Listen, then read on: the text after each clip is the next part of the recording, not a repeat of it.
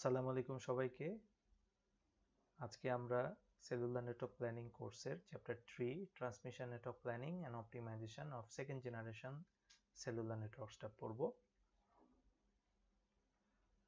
তো শুরুতে যদি আমরা বলি যে স্কোপটা, যে আমরা জানি যে this is our planning scope of cellular network planning, full. তো চ্যাপ্টার টুতে আসলে আমরা রেডিও নেটওয়ার্ক প্ল্যানিংটা দেখেছি, যেটার স্কোপটা ছিল এতটুক। যে আমার সেল থেকে নিয়ার বাই যে বেজ স্টেশন এই এতটুকটা ছিল আমাদের স্কোপ আর এখন ট্রান্সমিশন নেটওয়ার্ক ট্রান্সমিশন নেটওয়ার্কটার একটা আলাদা নাম আছে। ট্রান্সমিশন নেটওয়ার্কটাকে আমাদের বলা হয় ব্যাকবোন নেটওয়ার্ক আমাদের শরীরের যেমন ব্যাকবোনটা আমাদের পুরো শরীরটাকে সোজা রাখে, সচল রাখে। তো সেই রকম ট্রান্সমিশন নেটওয়ার্কটা আমাদের ব্যাকবোন নেটওয়ার্ক বলা হয়। এই অর্থে যে আমি কাউকে যদি ফোন করি, সে যেই দূরত্বেই থাকুক it is the duty of transmission network to transmit the signal to that destination. তো সেক্ষেত্রে ট্রান্সমিশন নেটওয়ার্কের আমার যে স্কোপটা এটা এখানে হাইলাইট করা আছে।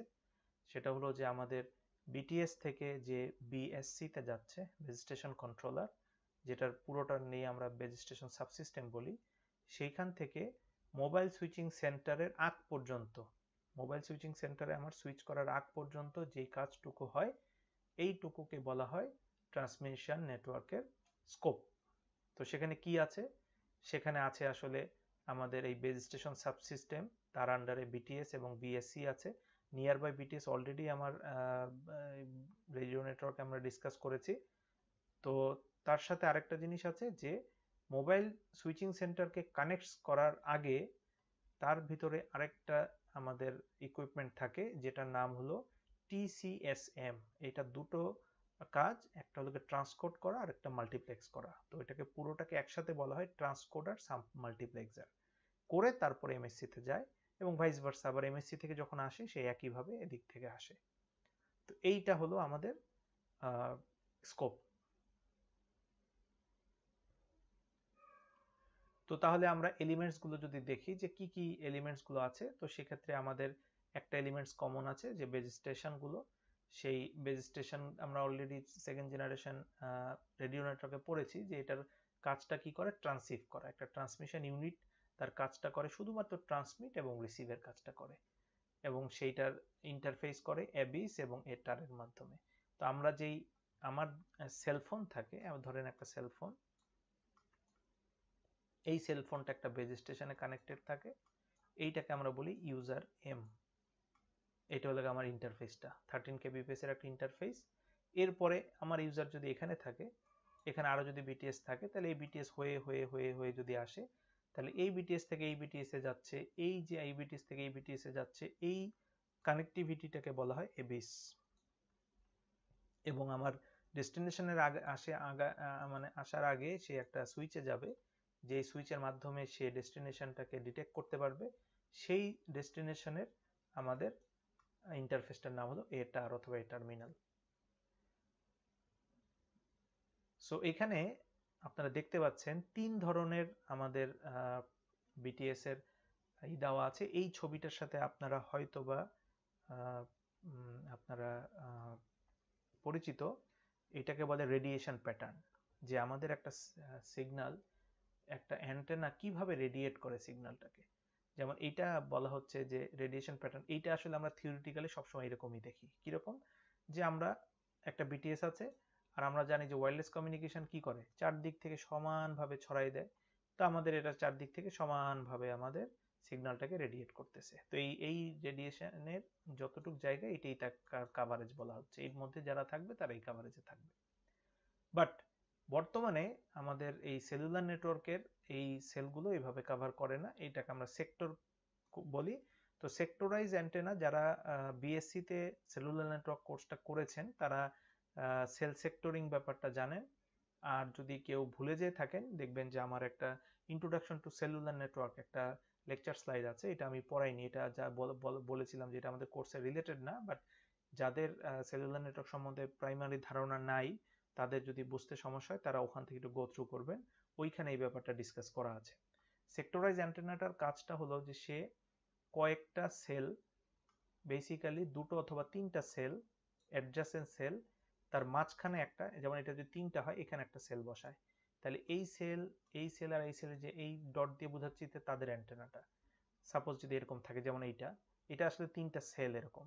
তো এই তিন সেলের ফ্রিকোয়েন্সি একটা অ্যান্টেনাকে দেওয়া হয়। তাতে হয় কি এই সেলের যে কাভারেজ এতটুকু ছিল, সে তার ফ্রিকোয়েন্সি দিয়ে দেয়, তে সে তার ফ্রিকোয়েন্সিকে দিয়ে দেয়, তে তার ফ্রিকোয়েন্সিকে দিয়ে দেয়। তাতে এই তিনটা সেলের ফ্রিকোয়েন্সি সে অ্যাডপ্ট করে, তাতে তার কাভারেজের পরিমাণটা বেড়ে যায় আসলে। এবং যেহেতু তিনটা ফ্রিকোয়েন্সি সে অ্যাডপ্ট করে, তার মানে তার ফ্রিকোয়েন্সি সংখ্যা বেশি, তাতে মোর ইউজারকে সে অ্যাক্সেস দিতে পারে। এইটাকে বলা হয় সেল সেক্টরিং এবং সেল সেক্টরিংটা আমরা সেই জায়গায় ইউজ করি, যেসব জায়গাতে আমাদের নিয়ার বাই আমাদের সেলগুলো বিজি থাকে। যে যেমন Dhaka city Dhaka city Chittagong city যেসব সিটিগুলোতে আসলে কনজেস্টেড কল রেট অনেক হাই সেই সব জায়গাতে আমরা সেল সেক্টরিং ইউজ করি। তো সেটা আমরা যদি এটা না বুঝেন, আমাদের এই ভিডিওটা করার উদ্দেশ্য হলো যেটা আমি যেহেতু অনলাইন ক্লাস নিচ্ছি, তার মানে ফেস টু ফেস ক্লাস হচ্ছে না, সেহেতু বিভিন্ন জিনিস আমরা ডিসকাস করতেছি যেটা আমরা ক্লাসে পারতাম, সেটা আমি অনলাইনে ডিসকাস করতেছি। তো আপনারা এটা আমার এই লেকচারটা দেখবেন দেখে তারপর যখন আমরা যেদিন লাইভ ক্লাসে আসব সেই দিন যদি না বুঝেন, আমি সেদিন ডিসকাস করব জিনিসটা। আরও ক্লিয়ার হবে। সো যদি কেউ না বুঝেন please raise question cell sectoring তো এই কাজগুলো করা হয়। তাতে যেমন সেক্টরিং যদি করি, তাহলে সেক্টরিং করলে এটা টু সেক্টর করা হয়েছে, এটা থ্রি সেক্টর করা হয়েছে। ঠিক আছে? তাতে আমার রেডিয়েশন প্যাটার্নটা এরকম থাকে না ওয়ান টোয়েন্টি ডিগ্রি অ্যাঙ্গেল হয়ে যায়। এবং আপনারা এই যে ছবিটা দেখলে খুব ক্লিয়ারলি বুঝবেন যে এই ছাদে আপনারা যত রুফটপ অ্যান্টেনা দেখেন আপনারা দেখবেন যে এই যে অ্যান্টেনাটা এই অ্যান্টেনাটাই আসলে অমনি ডাইরেকশনাল অ্যান্টেনা এই অ্যান্টেনাটাই এরকম করে অমনি ডাইরেকশনেই করে। আর গোল যে অ্যান্টেনাটা থাকে যে এখানে ছোট করে দেওয়া আছে, এগুলো হলো আপনার মাইক্রোওয়েভ অ্যান্টেনা যেটা একটা লিঙ্ক থেকে আরেকটা লিঙ্কের মধ্যে লাইন অফ সাইট করে। তো এই অ্যান্টেনাগুলো এই যে দেখেন, এই অ্যান্টেনাটা কীরকম করা? দেখবেন যে আপনারা যে এটা এরকম, একশো বিশ ডিগ্রি, এখানে একটা অ্যান্টেনা এখানে একটা অ্যান্টেনা এখানে একটা অ্যান্টেনা আপনার ছাদে যে কোনো ছাদের, বাসার ছাদে তাকালেই দেখবেন অ্যান্টেনাগুলো এরকম। একটা শুধু অ্যান্টেনা না। এরকম করে তিনটে অ্যান্টেনা করা, ঢাকাতে থ্রি অ্যান্টেনা ফেসিং করা হয়, তাহলেই বুঝবেন এটা সেই সেল সেক্টরই তো এইভাবে আমাদের অ্যান্টেনা প্রথমে রিলোকেট করে, আর এইটা আমাদের আউটডোর ইউনিট এখানে এটা বেসিক্যালি সুইচ তো এটা দেখানো হয়েছে একটা গ্রাম গ্রাউন্ডে যেটা ম্যাক্রোসেল বলি ম্যাক্রোসেল এটা আমাদের সুইচগুলো আউটডোর ইউনিট ইনডোর ইউনিট এখানে থাকে ব্যাটারি পাওয়ার সাপ্লাই সব এখানে থাকে, আর এটা আমাদের অ্যান্টেনাটার পোল আর আমরা তো ছাদে যেটা রুফটপ করি, এটা তো দেখতে এরকম। তো তাতে আমাদের আসলে একটা বেজ স্টেশনে থাকছে কি?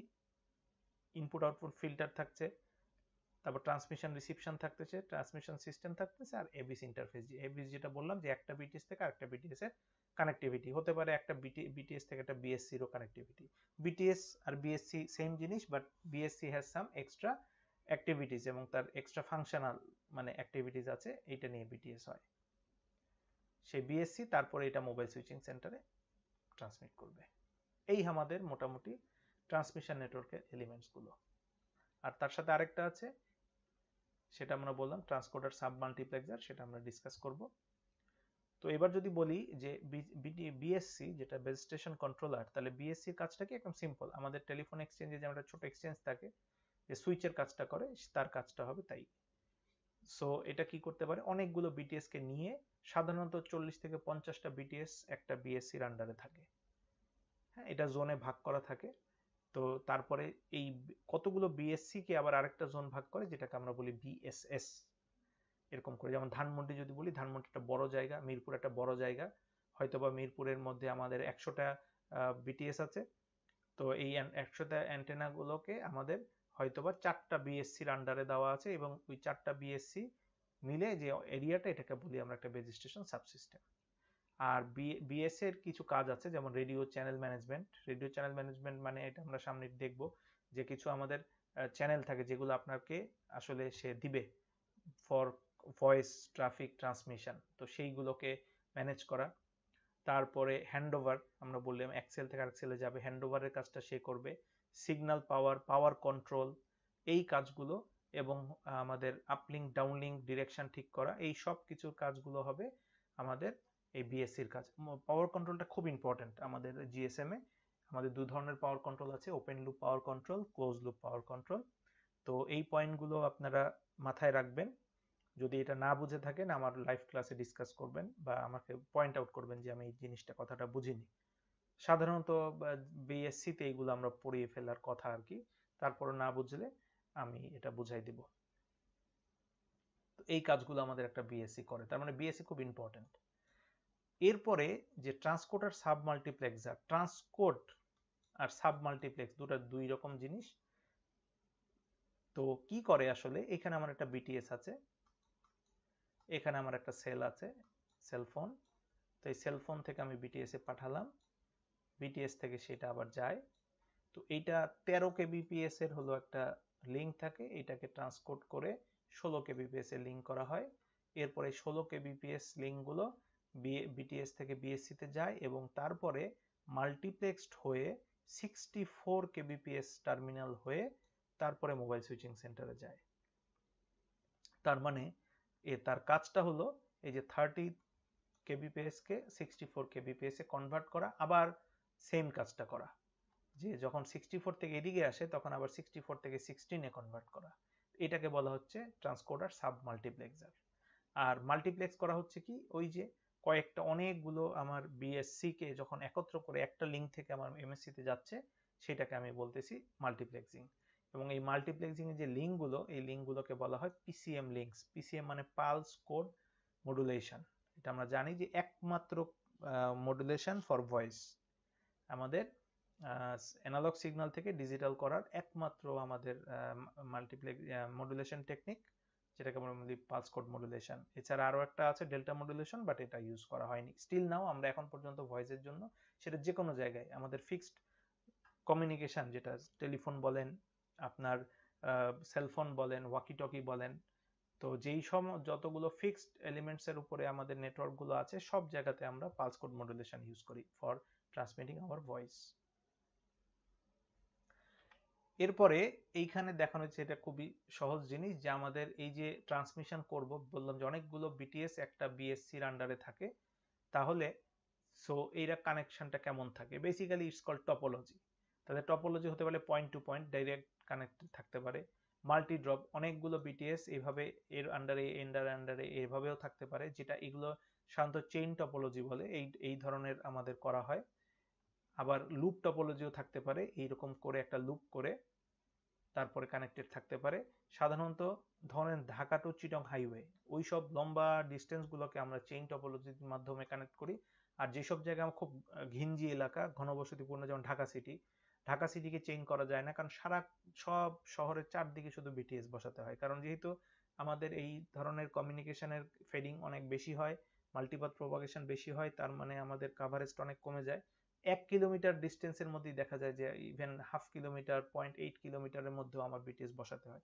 তখন আমরা করি কি, এলাকাতে এরকম গোল গোল করে মানে লুপ করে করে আমরা কাভারেজগুলো দিই। তাতে আমাদের কম লাগে। চেইন দিয়ে এটা কাভার করা খুব ডিফিকাল্ট আর কিছু কিছু জায়গা যেগুলোতে আপনার হাই সিকিউর এরিয়া বা একটু হায়ার মডিফাইড এরিয়া বা প্রায়োরিটাইজ এরিয়া এখানে আমরা পয়েন্ট টু পয়েন্ট করতে পারি। পয়েন্ট টু পয়েন্ট করলেও কোনো সমস্যা নাই। সেক্ষেত্রে আমাদের বিটিসির সংখ্যা বেড়ে যাবে। একটা এলাকাকে কাভার করার জন্য। হয়তো বা যেসব জায়গায় খোলামেলা ওইসব জায়গায় আমি পয়েন্ট টু পয়েন্ট দিতে পারি। সেখানে আমার চেইন লুপ না করলেও চলে। আর ট্রান্সকোডার সাম মাল্টিপ্লেক্সার যেটা বললাম, যে এই ইউনিটটা থাকে। এই ইউনিটটা আপনার, এটা দেখলে খুব ক্লিয়ার হয়ে যাবে। যেমন আমাদের তেরো কেবিপিএস লিঙ্ক বিটিএস থেকে বিএসসি তে ষোলো কেবিপিএস ষোলো কেবিপিএস এর say for example ninety channels আছে, এটা ঢুকে ঢুকে তখন এই ট্রান্সকোড সাব মাল্টিপ্লেক্সারের মাধ্যমে সে প্রথমে মাল্টিপ্লেক্সড হয়, হয়ে তারপরে আমাদের এখানে সিক্সটি ফোর কেবিপিএস এর লিঙ্কে ঢুকে সেম ওয়েতে আবার এদিক থেকেও ভাইস ভার্সা কাজ করে।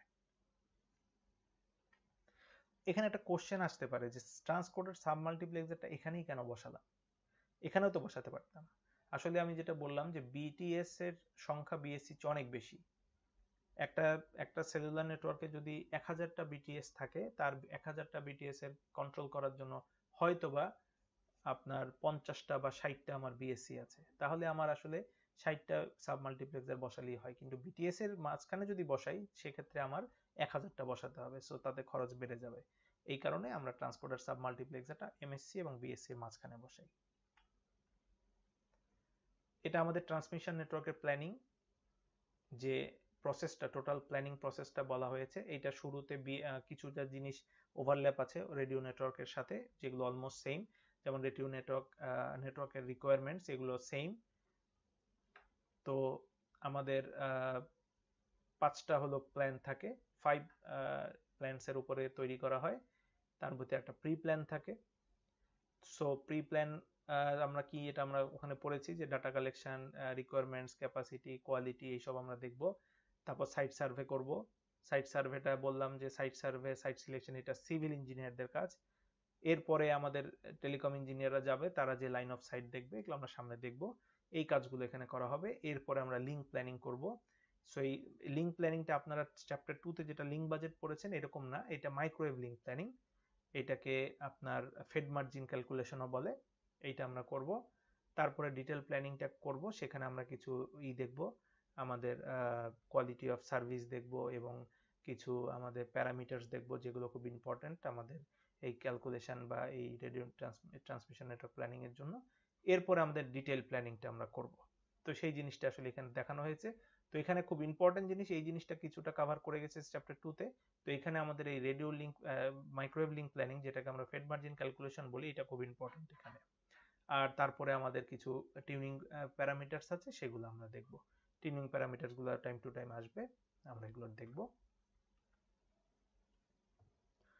তো প্রি প্ল্যানিং এ প্রথমে যেটা হলো যে এই এই স্লটটা আমার বত্রিশটা টাইম স্লট আমার থাকবে।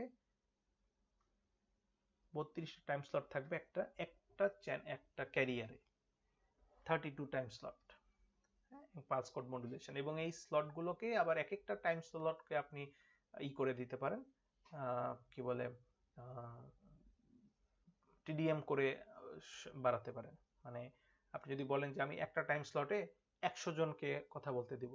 তাহলে একশো জনকে কথা বলতে দিলে আপনি প্রত্যেককে দশ মিলি সেকেন্ড করে আপনি স্লট দিবেন। তাহলেই আরামসে তারা এই কাজ করতে পারে। এরকম করে আমরা ক্যাপাসিটি আসলে বাড়াই। তো এখানে দেখানো হয়েছে যে ট্রাফিক আর সিগন্যালিং এর জন্য এস ওয়ান থেকে এস থার্টি ওয়ান এগুলো ইউজ করা হয় এবং প্রত্যেকটার আমার চ্যানেলের ডাটা রেট হলো ট্রান্সমিশন ক্যাপাসিটি হলো সিক্সটি ফোর কেবিপিএস এবং এই একটা লিঙ্কে টু এমবিপিএস লিঙ্ক বলে। এটাকে টু এমবিপিএস লিঙ্ক বলে এই কারণে যে আমার সিক্সটি ফোর কেবিপিএস লাইন এবং তার সাথে হলো থার্টি টু কেবিপিএস হলো গিয়ে আমার, এতগুলো হলো গিয়ে আমার লিঙ্ক তো এটাকে ইকুয়াল করলে গার্ড বিট অ্যাড করে দিলে টোটাল এটা টু এমবিপিএস হয়। তো এই টু এমবিপিএস আরেকটা নাম আছে, একটা ক্যারিয়ার বলে, এটাকে বলে ই ওয়ান ক্যারিয়ার আপনারা অনেকে হয়তো শুনে থাকবেন। দুই ধরনের ক্যারিয়ার আছে টি ক্যারিয়ার ই ক্যারিয়ার টি ক্যারিয়ারটাকে বলে আসলে আমেরিকান নর্থ আমেরিকান স্ট্যান্ডার্ড এটা ইউজ করা হয়। সেকেন্ড জেনারেশনের আরেকটা আমাদের আপনার স্ট্যান্ডার্ড আছে CDMA code division multiple access সেখানে টি ক্যারিয়ার ইউজ করা হয় এবং এছাড়া আমাদের যে টেলিফোন নেটওয়ার্ক এখানেও টি ক্যারিয়ার ইউজ করা হয়। আর জিএসএম যেটা European standard global system for mobile communication এখানে আমাদের ক্যারিয়ারটাকে বলে ই ওয়ান ক্যারিয়ার এবং এই ক্যারিয়ারও চার ধরনের হয় বাট এটা আপাতত এখানে আমরা দেখাচ্ছি না, কারণ রিপিট করতে যাচ্ছি না। আমাদের সামনে থ্রি জিতে এগুলো আসবে। তখন আমরা আস্তে আস্তে পড়ব। এখন একদম জেনারেল একদম ছোট থেকে শুরু করতেছি। কারণ আমরা জানি সেকেন্ড জেনারেশন কি আছে? সেকেন্ড জেনারেশন আছে শুধুমাত্র ভয়েস সেকেন্ড জেনারেশন আমরা কনসিডার করতেছি ভয়েস নাথিং এলস তার সাথে কিছু ডাটা কমিউনিকেশন আমরা করি, সেটাকে খুবই সীমিত আকারে, এটাকে আমরা নাম দিয়েছি শর্ট মেসেজিং সিস্টেম মিট এস এম এস এরপরে টু পয়েন্ট ফাইভ জেনারেশন নিয়ে আমরা আলোচনা করব, সেখানে এম এম এস আসবে মাল্টিমিডিয়া মেসেজিং এরপরে থ্রি জি নিয়ে আলোচনা করব। এগুলো সব কম্বাইন্ড করে তারপরে আমরা ফোর্থ জেনারেশন ফিফথ জেনারেশনের প্ল্যানিং এর ফেনোমেনাটা একটু জানার চেষ্টা করব। বাট আমাদের হেভিলি আসলে এই কোর্সটা টোটাল যেহেতু প্ল্যানিং কোর্স থিওরিটিক্যাল প্ল্যানিং এর মধ্যে আসলে পুরোপুরি যায় আসলে টু এবং থ্রি জিটাই কভার করে। থ্রি টু জি যদি আপনি প্ল্যানটা বুঝেন, আপনি সেভেন্টি পার্সেন্ট আসলে প্ল্যানিংটা শিখেই গেলেন। কারণ হাতে কলমের প্ল্যানিংগুলো এরকম আপনারা দেখেছেন যে থ্রি জি আসছে ফোর জি আসছে, বাংলাদেশে ফাইভ জি হয়তো আসবে। কোনো ইনফ্রাস্ট্রাকচারের চেঞ্জগুলো আপনাদের কাছে দৃশ্যমান না। সো ম্যাক্সিমাম জিনিসগুলো আসলে করে ফেলা হয়েছে টু জিতে থ্রি জিতে জাস্ট আপগ্রেডেশন মডিফিকেশন তো এই, এগুলো হচ্ছে। যেমন ওয়ান জি থেকে যখন টু জিতে আসছে, তখন আসলে রেভলিউশন হয়েছে। হ্যাঁ একটা রেভলিউশন হয়ে গেছে, কারণ অ্যানালগ থেকে ডিজিটালে এসেছে। আর এখানে কি হচ্ছে? ইভলিউশন হচ্ছে। যে এমন কোনো রেভলিউশন হচ্ছে না, একটা সিস্টেম থেকে আর একটা নতুন টেকনোলজিতে যাচ্ছি। এটাকে বলি আমরা ইভলিউশন তো এখানে একটা ছোট্ট একটা অঙ্ক দেওয়া আছে যে কোড মডুলেশনের রিকোয়ারমেন্ট যে কতগুলো আমার লাগবে আসলে।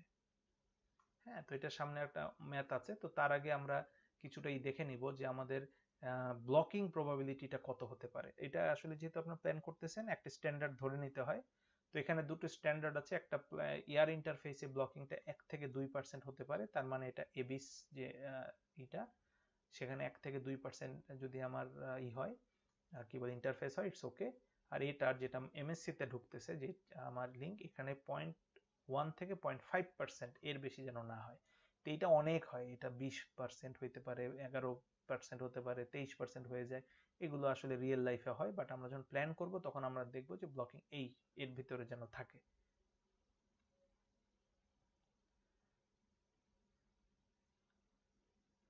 তো মোটামুটি একটা ট্রান্সমিশনে দুটো আমাদের সিক্সটি ফোর টাইম স্লট লাগে।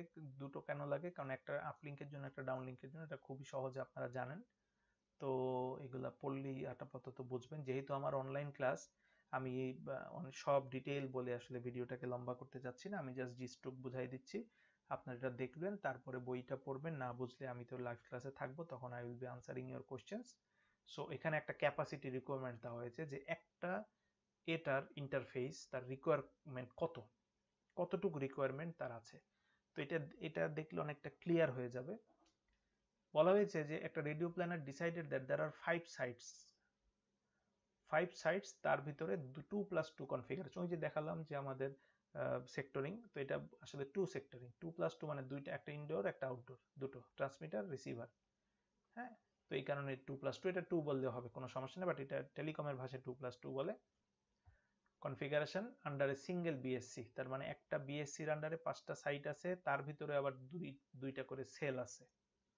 ক্লিয়ার যেমন একটা সাইট তার ভিতরে দুটো সেল সেক্টরিং করা যেহেতু। আর এরকম করে আরও পাঁচটা সাইট আছে মিলে একটা বিএসসির আন্ডারে তো এয়ার ইন্টারফেস ব্লকিং এটা টু পার্সেন্ট আর এর terminal blocking one point one যেটা আমাদের আছেই। তো এখন যেহেতু পাঁচটা সাইড টু কনফিগারেশন তার আসলে সেল কয়টা আছে? তার মানে five into two which is equal to ten cells আবার বলা হচ্ছে প্রত্যেকটা সেলে পনেরোটা করে ট্রাফিক চ্যানেল আছে। ওই যে ট্রাফিক চ্যানেল দেখালাম পিসিএম ট্রাফিক চ্যানেল তো বলা হচ্ছে যে প্রত্যেকটা সেলে পনেরোটা করে আছে।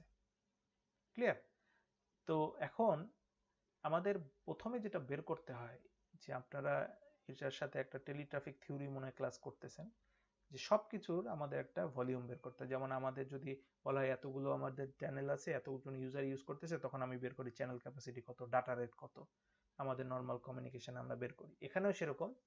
সবসময় যদি এই ধরনের প্যারামিটার থাকে, আমার ফার্স্ট মাথায় রাখতে হবে যে আমার ট্রাফিক ভলিউম কতখানি। কতটুক ট্রাফিক সে সাপোর্ট করে।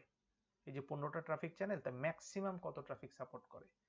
কত ট্রাফিক সাপোর্ট করে, এটা আমার থিওরিটিক্যালি বুঝে তারপরে আমি দেখব প্র্যাকটিক্যালি কত সাপোর্ট করে। প্র্যাকটিক্যালি যদি এর চেয়ে কম লাগে, তার মানে আমি খুব হ্যাপি যে আমার কোনো সমস্যা নাই।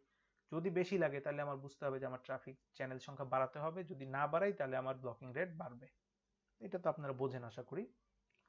তো এখানে প্রথমে আমরা দেখব যে এবি সেটটা এয়ার ইন্টারফেস তো এয়ার ইন্টারফেস আমাদের ব্লকিংটা কি? টু পার্সেন্ট তো তার সাথে আমাদের পনেরোটা ট্রাফিক চ্যানেল এখানে বলা হয়েছে ইউজিং আরলাং বি টেবলস আমি জানি না আপনারা আরলাং বি টেবলস আপনার ওই কোর্সে পড়েছেন কিনা। আমরা ছোটকাল থেকে আরলাং বি টেবলস পড়ছি। আরলাং বি টেবলটা হলো আমাদের টেলি ট্রাফিকের একটা অন্যতম একটা অংশ। অন্যতম একটা অংশ আরলাং বি টেবল এইটা হলো আরলাং বি টেবল এই এই টেবলটা আমি যদি একটু বড় করে দেই। বড় করে দিলে হয়তো আপনাদের দেখতে একটু সুবিধা হবে। এই ফর্মুলাটা আপনারা অনেকে দেখেছেন, এটাকে বলে পয়সন ডিস্ট্রিবিউশন এই পয়সন ডিস্ট্রিবিউশন বলে প্রবাবিলিটি ব্লকিং প্রবাবিলিটি এবং তার সাথে হলো আমাদের আরও কিছু কিছু প্যারামিটার আছে। তো এখানে আপনাদের কষ্ট করে এই প্রবাবিলিটি ফর্মুলা করতে হবে না। এই প্রবাবিলিটি ফর্মুলা দিয়ে আসলে টেবিলটা বানানো হয়েছে। এই টেবিলটা you have to understand in very clearly তো শুরুতেই বলি যে এই টেবিলটাতে তিনটা প্যারামিটার আছে। এইটা প্রথম প্যারামিটার এগুলো এগুলো হচ্ছে নাম্বার অফ ট্রাঙ্কস ট্রাঙ্কস মানে চ্যানেলস যেমন ওখানে বললাম না, পনেরোটা ট্রাফিক চ্যানেল তো এই এরকম একটা, দুইটা, তিনটা থাকলে কত? এই যে পনেরো। এরকম কতটা থাকলে কতটা ট্রাফিক চ্যানেল থাকলে এরকম করে দেড়শোর কাছে, দেড়শো ট্রাফিক চ্যানেল দেওয়া আছে। এর বেশি আসলে থাকে না একটা ক্যালকুলেট করার জন্য। একটা পেলে বাদ বা এগুলোকে মাল্টিপ্লাই করে করা যায়। তো আমরা পনেরোটা ট্রাফিক চ্যানেল আচ্ছা এইখানে থাকবে নাম্বার অফ ট্রাফিক চ্যানেলস এখানে থাকবে ওই যে blocking rate blocking rate point one point two এরকম ব্লকিং রেটগুলো দেওয়া থাকবে। তো ফিফটি পার্সেন্টের উপরে দেওয়া নেই, কারণ ফিফটি পার্সেন্টের উপরে যদি হয়, আপনার আর ক্যালকুলেশন করার দরকার নাই। You have to actually replan নতুন করে প্ল্যান করতে হবে, নাহলে নেটওয়ার্কের অবস্থা ডিজাস্টার হয়ে যাবে। তো অনেক সময় একটা জায়গায় এরকম অনেক ব্লকিং হয় তখন আসলে আমরা অফ করে রাখি। যেমন আপনারা যারা আমাদের ওল্ড স্টুডেন্ট জানেন পার্মানেন্ট ক্যাম্পাসে যখন আমরা গেলাম, তখন আস্তে আস্তে স্টুডেন্ট সংখ্যা, ওখানে যে বিটিএস সেটা তো একটা বিটিএস বেসিক্যালি টু জির যে স্ট্যান্ডার্ড তাতে আপনার বিটিএসগুলো চার থেকে সাড়ে চার হাজার হ্যান্ডেল করতে পারে যদি আপনার সেক্টর করা থাকে। আর যদি সেক্টরাইজ করা না থাকে, বাইশশো থেকে তেইশশো পার সেক্টরে একটা বিটিএস সাপোর্ট করে। তো আমরা তো স্টুডেন্ট সংখ্যা প্রায় পনেরো হাজার ছিলাম তখন। তারপরে এখন তো ড্যাফোডিলে পঁচিশ হাজার স্টুডেন্ট পুরো ডিজাস্টার হয়ে যায়। তখন তারা করতো কি? যে কল ব্লক কোনো কল করা যাচ্ছে না। এটা রিয়েল লাইফ এক্সপিরিয়েন্স আপনারা জীবনে এটা যারা আমাদের এখানকার স্টুডেন্ট বা এরকম কোনো গেজে জায়গায় গেছেন বা ছোটকালে আপনারা ছোটকাল বলতে ধরেন পাঁচ, দশ বছর আগে আপনারা যখন ফোন করছেন ঈদের দিন, পূজার দিন, দেখছেন ফোনে কথা পাওয়া যায়নি কারণ সবাই ই করতেছে। আমার এরকম হয়েছে, আমাকে ঈদের মেসেজ পাঠাইছে, দুই দিন পরে ঈদের, ঈদ শেষ, তার দুই দিন পরে মেসেজ পাইছি। অনেক কিছু এরকম মজার মজার অভিজ্ঞতা আছে আপনাদের সাথে। ক্লাসে থাকলে হয়তো ডিস্টার্ব ডিসকাস করতাম। এনিওয়ে তো এখন আমাদের ড্যাফোডিল এই প্রবলেমটা হয় না, কারণ আপনারা দেখবেন ড্যাফোডিলের জন্য আলাদা একটা বিটিএস বসানো হয়েছে। ড্যাফোডিলের টাওয়ারের ছাদেই আছে এবং এরপরেও যদি আমাদের লাগে এক্সট্রা তখন আমরা ই করি, এটা আমরা জানাই।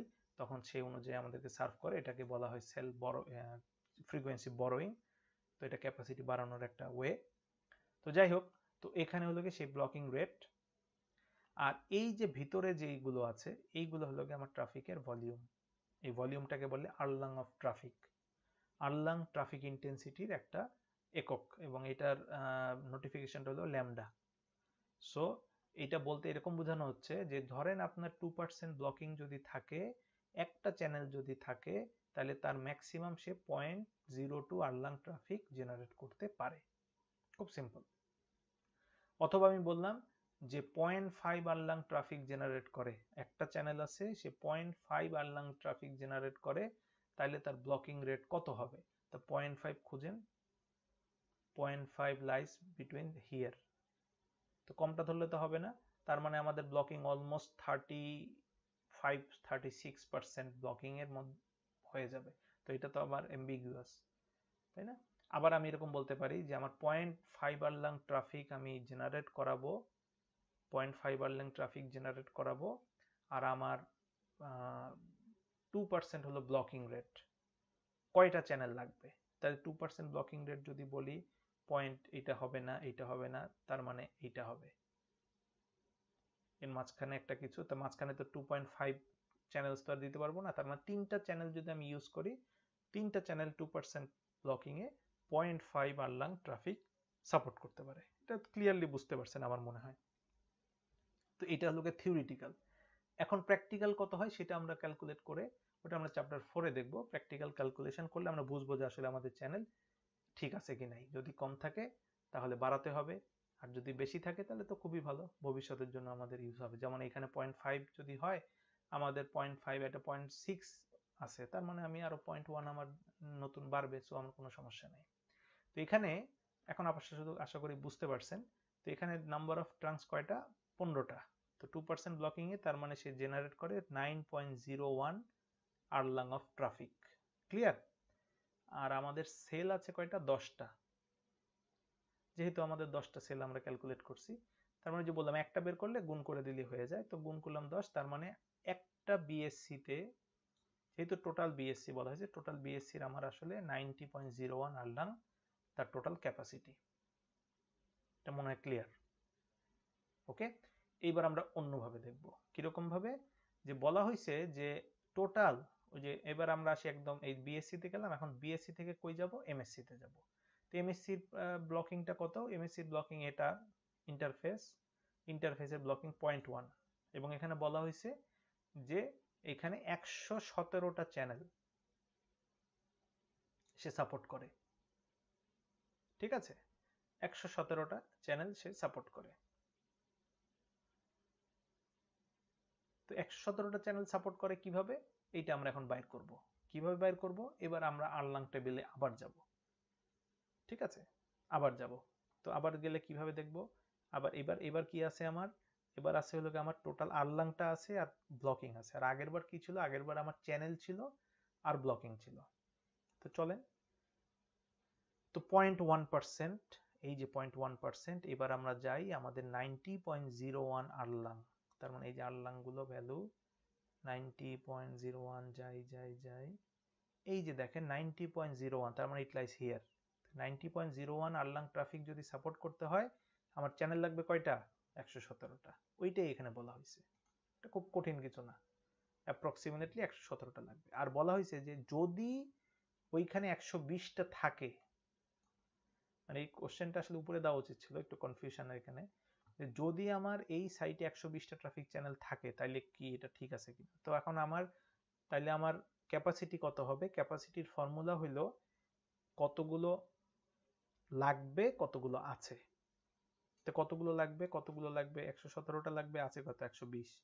তার মানে point nine seven which is almost one Erlang আমরা এটা প্রবাবিলিটির মতো ওয়ান আরলাং মানে ম্যাক্সিমাম এক আরলাং ট্রাফিক মানে একটা চ্যানেল এক ঘণ্টা, এক ঘণ্টা কিন্তু, মিনিট না, সেকেন্ডও না, এক ঘণ্টা কন্টিনিউয়াস বিজি একটা চ্যানেল এক ঘণ্টা কন্টিনিউয়াস বিজিকে বলা হয়, এক আরলাং ট্রাফিক তো তার মানে আমার একশো সতেরোটা চ্যানেল অলমোস্ট অলমোস্ট বিজি ছিল। তো সেক্ষেত্রে আমার তার মানে একশো বিশটা আছে আরও তিনটা চ্যানেল আছে সো আমার কোনো সমস্যা নেই। সো এইটার মানে হলো যে এই ফর্মুলা যদি আমার ক্যাপাসিটির ফর্মুলা আসে ভাগ করে কতগুলো লাগবে, কতগুলো আছে, এটা যদি একের উপরে যায়, তার মানে কি? তার মানে এটা খারাপ। কারণ ম্যাক্সিমাম তো আমার ওয়ান একের উপরে মানে হলো কি, আমার আসলে ব্লকিং রেট বেড়ে গেল। আর একের কম মানে হলো কি, ভালো, তার মানে আমার আরও হইলেও আমার কোনো সমস্যা নেই। তো এটা দেখানো হয়েছে যে ক্যাপাসিটি রিকোয়ারমেন্ট এইভাবে আমরা ক্যাপাসিটি রিকোয়ারমেন্টগুলো বের করি। তো এখানে জাস্ট আমাদের যেহেতু বিটিএস আর এই ট্রান্সমিশন নেটওয়ার্ক নিয়ে কথা হচ্ছে, আমাদের যখন এটা আপনার ই নিয়ে কথা বলব আমরা কোর নেটওয়ার্ক নিয়ে কথা বলব, তখন এটা আরও সহজ হয়ে যাবে আপনাদের জন্য।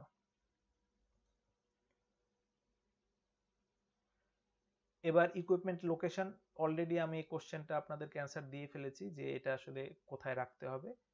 এটা বলে ফেলছি কস্ট কস্টটা কমানোর জন্য আসলে আমাদের এটা বিএসসি এবং বিটি এমএসসির আন্ডার মাঝখানে রাখতে হয়। এবার নেটওয়ার্ক টপোলজি কয় ধরনের টপোলজি হতে হবে? এটা পয়েন্ট টু পয়েন্ট এটাও আমরা দেখে ফেলছি star topology chain topology loop topology এগুলো আমরা ইউজ করি। যেটা বললাম লুপ টপোলজি খুব আমাদের কনজেস্টেড এরিয়াতে ইউজ করি আর হাইওয়ে টাইওয়ে এরকম যেগুলো খোলা জায়গা, এগুলোতে আমরা ইউজ করি চেইন টপোলজি এরপরে যেটা সাইট সিলেকশন এবং সাইট সার্ভে এটা খুব ইম্পর্টেন্ট এটার মানেটা হলো যে এইটা যদি আমার একটা সাইট হয়, এটা একটা সাইট হয়, তার মানে এদের মধ্যে এখন আমি মাইক্রোওয়েভ দিয়ে আমি লাইন অফ সাইট করব এবং এই লাইন অফ সাইট এটা ট্রান্সমিশনের লাইন অফ সাইট আমাদের ডাটা ট্রান্সফারের জন্য। তো এইখানে কোনো অবস্ট্রাকাল এই জায়গাটাতে থাকা যাবে না। নিচে থাকলে কোনো সমস্যা নাই। কিন্তু এই যে আমাদের এই মাইক্রোওয়েভের যে আমাদের বিমুইথ এইটার মাঝখানে থাকা যাবে না। আমরা জানি যে একটা মাইক্রোওয়েভের বিমুইথ এরকম হয়। আপনারা যদি রেডিয়েশন প্যাটার্নটা দেখেন কেউ, এটা দেখতে এরকম হয়। তো এইখানে কোনো থাকে, এখানে যদি একটা বিল্ডিং থাকে, তার মানে এটা বাধা পাবে। তো এটা একটা ফর্মুলা আছে। এটা ফর্মুলাটা আপনারা বিএসসিতে পড়ে ফেলছেন অথবা অন্য কোনো কোর্সে পড়ছেন বা মাইক্রোওয়েভ থিওরি যারা পড়ছেন। আর যদি না পড়ে থাকেন, সমস্যা নেই। এটাকে বলে ফ্রেনেল জোন এটার উচ্চারণটা হলো ফ্রেনেল কিন্তু এটা লেখে Fresnel F R E S Fresnel zone তো ফ্রেশনেল জোন একটা ফর্মুলা এখানে মডিফাইড করা হয়েছে। ফর্মুলাটা হলো এটা। এই ফর্মুলাটা একটা নির্দিষ্ট পয়েন্টের রেডিয়াস দেয় যে কতটুক এরিয়া অবস্ট্রাগল ফ্রি থাকতে হবে। যেমন এখানে ডি ওয়ান ডি টু এইটা আমি যদি বলি এটা একটা এক্সাম্পল ধরেন ধরেন এইটা। এইটা একটা অ্যান্টেনা এটা একটা অ্যান্টেনা আমি বললাম এই পয়েন্টে কতটুক জায়গা মানে এই যে এইটাকে বলি রেডিয়াস এতটুক জায়গা অবস্ট্রাগল ফ্রি থাকতে হবে। এই রেডিয়াসে অবস্ট্রাগল ফ্রি থাকতে হবে। ফর্মুলাটা কি? F one is equal to twelve point seven five এর পুরোটার উপরে রুট ওভার এটা হাফ দিয়ে বলা, বোঝানো হয়েছে root over D one into D two divided by F into D তো এখান থেকে এতটুক ডি টোটাল ডিস্টেন্সটাকে বলে ডি আর যেই পয়েন্টটা ধরবো, তার সেই পয়েন্টের শুরু থেকে এতটুককে বলে ডি ওয়ান এতটুককে বলে ডি টু তো ধরেন এটা দশ কিলোমিটার। তাহলে ডি মানে দশ। ধরেন বললাম যে তিন কিলোমিটার পয়েন্টে তার মানে ডি ওয়ান তিন ডি টু সেভেন ক্লিয়ার তাহলে D one into D two divided by D into F F মানে হলো এটার অপারেটিং ফ্রিকোয়েন্সি কত ফ্রিকোয়েন্সিতে এটা অপারেট করতেছে? এটা করে যেটা আসবে, আমাদের যেই আপনার ইটা আসবে, এতটুক এরিয়া অবস্ট্রাগল ফ্রি এটা কিলোমিটারে আসবে। যদি বলে হলো আপনার পয়েন্ট ফাইভ তার মানে এখানে point two five point two five এতটুক জায়গা অবস্ট্রাগল ফ্রি থাকতে হবে। এখানে কোনো ই থাকা যাবে না। এরকম করে আমরা করি। এখন কি করব? ধরেন এখানে একটা অবস্ট্রাগল ফ্রি থাকা যাবে না? এখানে বিরাট বিল্ডিং এখন কি বিল্ডিং ভেঙে দিব? ধরেন আপনার ফর্মুলা ই করলাম, এবং আমার এই অ্যান্টেনা সরানো সম্ভব না, কারণ অ্যান্টেনা সরানো অনেক কঠিন। একটা অ্যান্টেনা বসাতে প্রায় এক থেকে শো এক কোটি টাকা লাগে পুরো সেট বসাতে। তা আমি কি আরেক বিল্ডিং থেকে আরেক বিল্ডিং এ সরাই নিব? না কি করব? আর এগুলো তো বসানো হয়ে গেছে, এটা ধরেন আপনার একদম হিসেব মাটিতে বা রুফটপ হলেও এরকম হয়। কারণ আমাদের ঢাকা শহরে এরকম হয়। একটা বিল্ডিং করছে, এটা বিল্ডিং করছে, তার মাঝখানে নতুন একটা উঁচা বিল্ডিং হয়ে গেল। এখন কই যাব? এখন তো সিগন্যাল এরকম করে যাওয়া যায় না। তো আমরা এইসব ক্ষেত্রে করি কি, আমরা একটা আপনার এইখানে যে এটা আমি যদি একটু এইভাবে দেখাই, এটা আসলে থ্রি ডি যেহেতু না টু ডি এইখানে একটা রিফ্লেক্টার ইউজ করি। এইখানে ধরেন একটা ছাদ আছে, এই ছাদে একটা রিফ্লেক্টার ইউজ করি। তাতে হয় কি এখন সোজাভাবে না দিয়ে যেহেতু এই মাঝখানে একটা বিল্ডিং পড়ে গেছে, এই করব কি আমি এই দিকে অ্যান্টেনার মুখটা ঘুরাই দেবো। এটাকে বলে অ্যাজিমুথ অ্যাজিমুথটা এই ছাদে দিয়ে দেবো বা এই এইখানে রিফ্লেক্টারে দেবো। এ রিফ্লেক্ট করবে রিফ্লেক্ট করে এদিকে যাবে। ও আবার এই রিফ্লেক্ট করে এদিকে যাবে। তাহলে এটাকে আমি সরাই ফেলতে পারলাম। এভাবে করা যায়। আবার যেটা হলো গিয়ে পানির উপরে যদি হয়, নদী। আপনার অ্যান্টেনা নদীতে, এখন নদীর মাঝখানে তো অ্যান্টেনা বসানো যাবে না। তখন দেখা যায় নদীর এখানে একটা বসা এখানে একটা বসা এখানে একটা বসায় করে এইভাবে জিগ জ্যাক ওয়েতে এইভাবে, এরকম জিগ জ্যাক ওয়েতে আপনার এই লাইন অফ সাইটটা করা হয়। তাতে এই মাঝখান থেকে যায়, যেই যাক, সে সিগন্যালের আওতায় থাকে। হ্যাঁ যার কারণে আপনারা নদীর মধ্যেও সিগন্যাল এখন পান। কোশ্চেন খুব সিম্পল কোশ্চেন নদীর মাঝখানে আমি আছি, আমি কীভাবে signal pi? This is how you you do it এখানে বসানো থাকে, এখানে বসানো থাকে, এভাবে করে এটা লাইন অফ সাইট ক্যালকুলেশন করা হয়।